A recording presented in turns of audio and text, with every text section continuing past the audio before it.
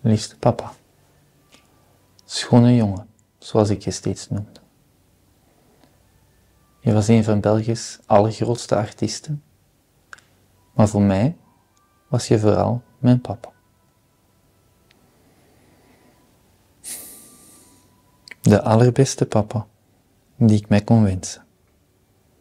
Jij was er steeds voor mij. Niets was te veel. Mij naar school brengen, mijn boterhammen smeren, voor het avondeten zorgen. Ik werd door jou verwend.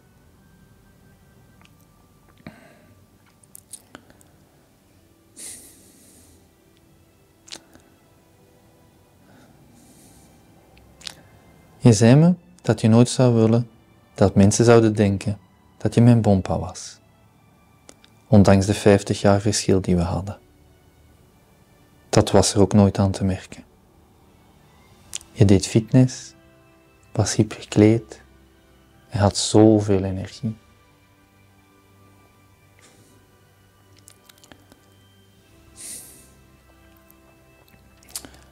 Binnenkort word je wel bompa. En je keek er zo naar uit.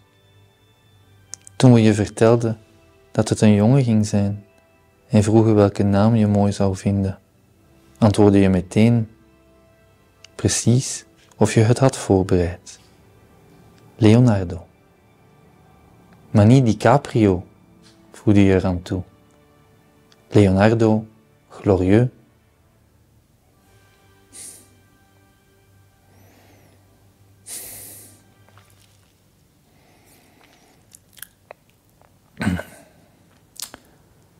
Ik wou dat je me nog eens zou wakker bellen, om te zeggen dat je computer niet werkt, het internet is uitgevallen, of de televisie kapot is. Al die kleine banaliteiten, waarvan ik de laatste jaren soms gek werd, maar die zo makkelijk waren op te lossen. Je zei me dan steeds, c'est un grand drame ici.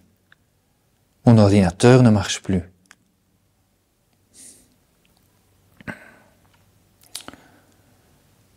Aujourd'hui, papa, c'est un grand drame ici, car tu n'es plus là. Mais tu vis. Tu vis dans nos cœurs, à travers ta musique, mais également ta bonté, ta gentillesse, ta générosité, ton humanité et ton amour pour les animaux.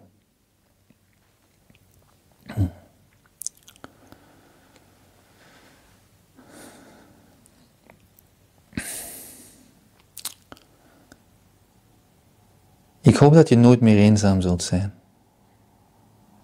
Dat ze, waar je nu bent, heel gelukkig zijn met je komst. Dat ze je daar waarderen. Want ze hebben er een van de allergrootste artiesten bij gekregen.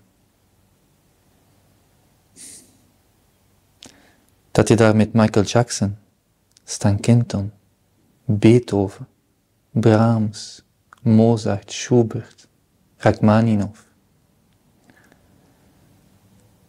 Heel de tijd samen muziek zitten spelen. In de eeuwigheid. Want muziek was jouw leven. Je t'aime, papa. Schone jongen. Rust zacht.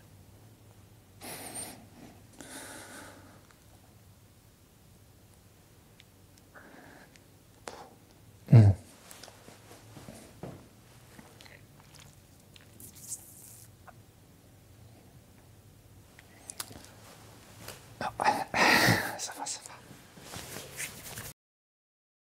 Ik zou je zo graag nog eens willen vasthouden. Een kus willen geven. Je zegt dat ik van je hou. Dus zeker je t'aime, papa. En dan keek je naar mij. Met die prachtige glimlach en die fonkelende ogen.